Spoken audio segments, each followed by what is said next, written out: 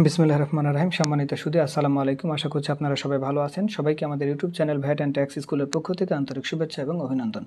সম্মানিত সুদী, আজকের ভিডিওতে আমরা দেখার চেষ্টা করব যদি রিটার্ন দাখিলে ব্যর্থ হয়ে থাকেন বা রিটার্ন দাখিলে ব্যর্থতার কারণে কি পরিমাণ বা কত টাকা বা কত পার্সেন্ট জরিমানা হতে পারে এই বিষয়টুকু ক্লিয়ার করার চেষ্টা করব। অনেকে ইউটিউবে অথবা ফেসবুকে প্রশ্ন করছেন যে, আমি দুই থেকে পাঁচ বছর আগে টিন সার্টিফিকেট করেছি কিন্তু রিটার্ন দাখিল করি নাই। সেক্ষেত্রে আমার কত টাকা জরিমানা হতে পারে বা কত পার্সেন্ট জরিমানা হতে পারে এই ধরনের অনেকগুলো কোশ্চেন করছেন।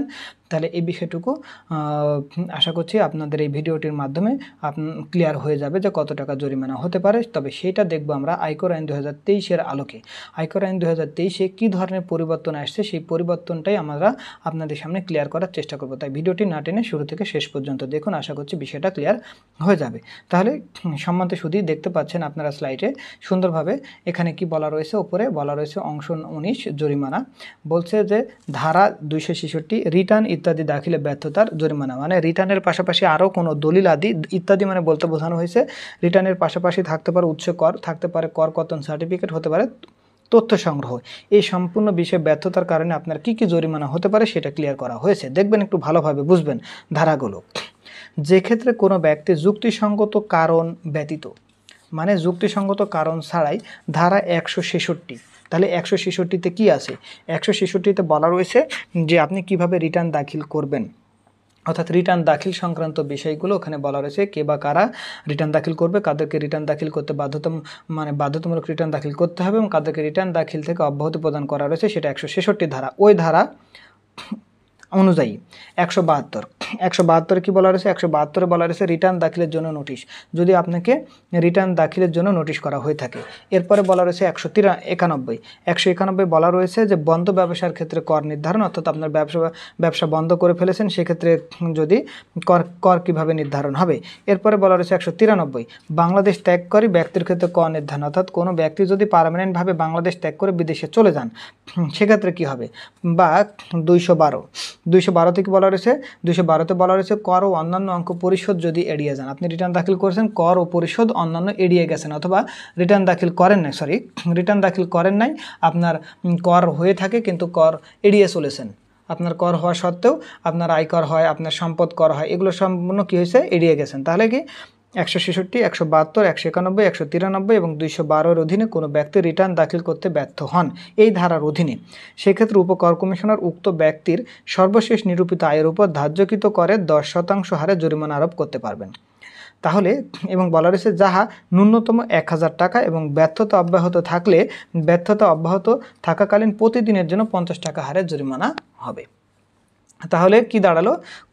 যে আপনার যারা রিটার্ন দাখিল করেছেন, তাদের ক্ষেত্রে পূর্ববর্তী বছরের দশ শতাংশ বা এক হাজার টাকায় দুটার মধ্যে যেটা কি হবে?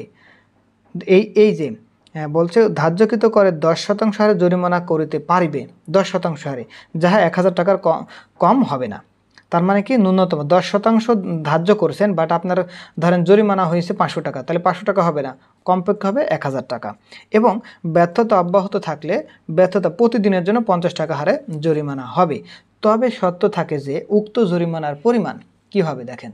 তবে সত্য থাকে যে, উক্ত জরিমানার পরিমাণ নিম্নবর্ণিত অঙ্ক অতিক্রম করবে না মানে এর চেয়ে বেশি হবে না। কোনো ব্যক্তি, করদাতা, যাহার ইতপূর্বে কোনো কর নির্ধারণ হয় না, তাহার ক্ষেত্রে কত টাকা? পাঁচ হাজার টাকা জরিমানা হবে। কখনোই কর নির্ধারণ হয়নি। তাহলে তার ক্ষেত্রে জরিমানা হবে পাঁচ হাজার টাকা। এরপরে খ বলা রয়েছে, কোনো ব্যক্তি করদাতা যাহার ইতিপূর্বে কর নির্ধারণ হয়েছে মানে আগে রিটার্ন দাখিল করেছেন, মাঝখানে রিটার্ন দাখিল করেন নাই, তাহার ক্ষেত্রে সর্বশেষ নিরূপিত আয়ের ওপর প্রদেয় করের পঞ্চাশ শতাংশ বা এক হাজার টাকা দুটোর মধ্যে যেটি কম। যারা রিটার্ন দাখিল করেছেন, তাদের ক্ষেত্রে তার আগের বছরের পঞ্চাশ শতাংশ বা এক হাজার টাকা, ইহার মধ্যে যাহা অধিক। তাহলে যদি আপনার যদি ধরেন দুই বছর আগে রিটার্ন দাখিল করেছেন, কোনো ট্যাক্স ছিল না, তাহলে তো ওটা জিরো বা এক হাজার টাকা। তার মানে আপনার হচ্ছে কি এক হাজার টাকা জরিমানা। যারা কখনোই দাখিল করেন নাই, তাদের হবে কত? পাঁচ হাজার টাকার বেশি। আইন বলতেছে পাঁচ হাজার টাকার বেশি হবে না।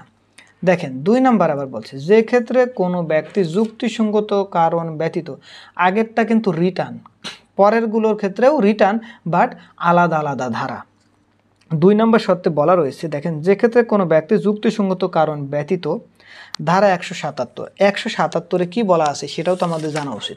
একশো সাতাত্তর হলো উৎস করের রিটার্ন আপনার ক্ষেত্রে যদি উৎস করের রিটার্ন প্রযোজ্য হয়ে থাকে, তাহলে কি বলছে? ধারা একশো সাতাত্তরের অধীনে কোনো রিটার্ন মানে এই ধারা একশো সাতাত্তর অধীনে কি? সেটা হলো উৎস করের রিটার্ন বা উচ্চ করের রিটার্নের জন্য যে তথ্য দাখিল উপস্থাপন করতে ব্যর্থ হইয়াছেন, সেক্ষেত্রে উপকর কমিশনের উক্ত ব্যক্তির উপর সর্বশেষ নিরূপিত আয়ের উপর ধার্যকৃত করের দশ শতাংশ অথবা পাঁচ হাজার টাকা দুটির মধ্যে যাহা অধিক, সেই পরিমাণ জরিমানা আরোপ করতে পারবেন। তার মানে এবং ব্যর্থতা অব্যাহত থাকলে, ব্যর্থতা অব্যাহত থাকাকালীন প্রতি মাসের জন্য বা তাহার ভগ্নাংশের জন্য এক হাজার টাকা হারে জরিমানা আরোপ করতে পারবে। অর্থাৎ যাদের উচ্চ করের রিটার্ন দাখিল করা কথা বা উচ্চ করের রিটার্ন দাখিল করেন নাই, সেক্ষেত্রে ওই ব্যক্তি বা প্রতিষ্ঠানের আগের বছরের যে ট্যাক্স হয়েছে তার টেন পার্সেন্ট অথবা পাঁচ হাজার টাকা। এটা কিন্তু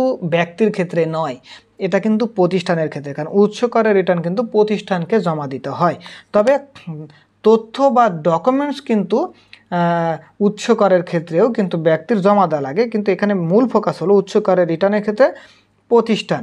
তবে ব্যক্তির ক্ষেত্রে তথ্য বা চাইতে পারে বা তথ্য উপস্থাপন করতে হতে পারে। তবে এখন বলা রয়েছে উচ্চ করের রিটার্ন প্রতি মাসে মাসে দিতে হবে প্রতিষ্ঠানকে। ব্যক্তির ক্ষেত্রে না, কিন্তু ব্যক্তির রিটার্ন দাখিলে তথ্য উপস্থাপন করতে হয়। এজন্য কিন্তু ট্যাক্সের পরিমাণ বেশি। তার মানে প্রতিষ্ঠানের ক্ষেত্রেই কিন্তু ম্যাক্সিমাম সময় প্রযোজ্য হয়। অর্থাৎ ধরে নেন এটা প্রতিষ্ঠানের ক্ষেত্রেই। তাহলে কি দশ শতাংশ অথবা পাঁচ হাজার টাকায় দুটার মধ্যে যেটা বেশি, সেটি প্লাস হলো অব্যাহত যদি চলতে থাকে এটা, প্রতি মাসের জন্য এক হাজার টাকা করে আপনার জরিমানা হতে থাকবে। তাহলে একশো সাতাত্তর হলো উৎস করের রিটার্ন এরপরে আসি খ, ধারা একশো পঁয়তাল্লিশ। ধারা একশো পঁয়তাল্লিশ যেটা দেখতে পাচ্ছেন, খ, ধারা একশো পঁয়তাল্লিশের অধীনে কোনো সার্টিফিকেট প্রদান করতে ব্যর্থ হয়েছেন। সার্টিফিকেট মানে কি? কর কর্তন সনদপত্র। কর কর্তন সনদপত্র দেয় সংশ্লিষ্ট প্রতিষ্ঠান বা উৎস, কর কর্তনকারী যে প্রতিষ্ঠান বা কর কর্তনকারী যে অথরিটি সেই অথরিটি তাহলে কি প্রদান করতে, অর্থাৎ সার্টিফিকেট প্রদান করতে ব্যর্থ হয়েছেন। সেক্ষেত্রে উপকর কমিশনের উক্ত ব্যক্তির উপর পাঁচ হাজার টাকা জরিমানা আরোপ করতে পারবেন এবং ব্যর্থতা অব্যাহত থাকাকালে, ব্যর্থতা অব্যাহত থাকাকালীন প্রতি মাসের জন্য অথবা ভগ্নাংশের জন্য এক হাজার টাকা অতিরিক্ত জরিমানা আরোপ করতে পারে। তাহলে প্রতি মাসের জন্য কিন্তু এক হাজার টাকা করে। তাহলে উচ্চ করের করের জন্য অর্থাৎ উচ্চ করের রিটার্নের জন্য আপনার হলো কি একটা ক, আর কর, কর্তন, সনদ, অর্থাৎ উচ্চ কর কেটে ফেলছেন কিন্তু সনদপত্র প্রদান করেন নাই, সেই ক্ষেত্রে আপনার মিনিমাম কত? পাঁচ হাজার টাকা প্লাস হলো প্রতি মাসের জন্য এক হাজার টাকা। এরপরে আসি ধারা দুইশো। ধারা দুইশো হলো তথ্য সংগ্রহ, অর্থাৎ আয়কর আয়কর কর্তৃপক্ষ সংশ্লিষ্ট বা ব্যক্তি বা প্রতিষ্ঠানের কাছ থেকে তথ্য বা ডকুমেন্টস উপস্থাপন করতে বলে যে তথ্য সংগ্রহ করতে চায়।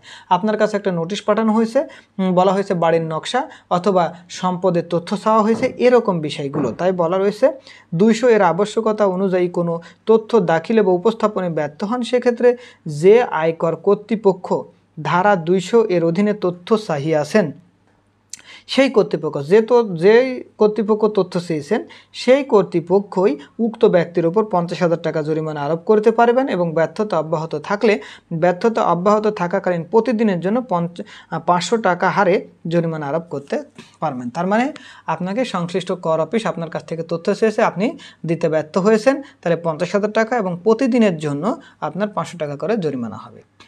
এই মোটামুটি হলো আপনার রিটার্ন এবং ইত্যাদি মানে রিটার্ন এবং অন্যান্য তথ্যাদি দাখিলে ব্যর্থতার জরিমানা। তাহলে সম্মানিত শুধু আশা করছি আপনারা বুঝতে পেরেছেন যে জরিমানা রিটার্নের জন্য রিটার্ন দাখিল করতে না পারার ক্ষেত্রে নতুন করদাতার ক্ষেত্রে কত জরিমানা, পুরাতন করদাতার ক্ষেত্রে কত জরিমানা এবং যুক্তিসঙ্গত কারণ ব্যতীত যদি উচ্চ করে রিটার্ন দাখিলে ব্যর্থ হন, সেক্ষেত্রে কত টাকা জরিমানা হতে পারে?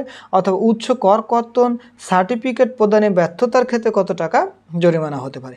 অথবা যদি কোনো আয়কর কর্তৃপক্ষ কোনো ব্যক্তি বা প্রতিষ্ঠানের কাছে তথ্য চেয়ে থাকেন, সেই তথ্য যদি দিতে প্রতিষ্ঠান ব্যর্থ হয়, তাহলে তার ক্ষেত্রেও একটা জরিমানা হবে গতে।